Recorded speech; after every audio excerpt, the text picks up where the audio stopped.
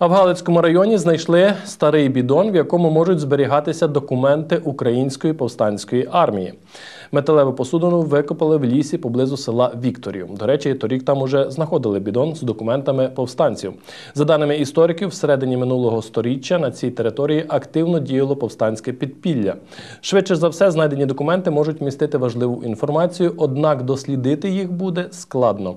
Насамперед, тому що посудина була пошкоджена і всередину потрапила вода.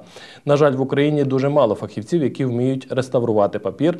А на Прикарпатті таких фахівців немає зовсім, констатує художник-реставратор Валерій Твердохліб.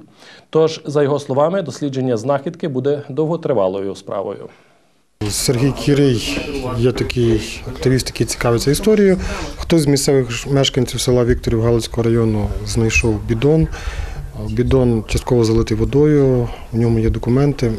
Ми думаємо, що це можливо документи ООН-УПА. Видно сліди корозії, металева, металева конструкція бідону.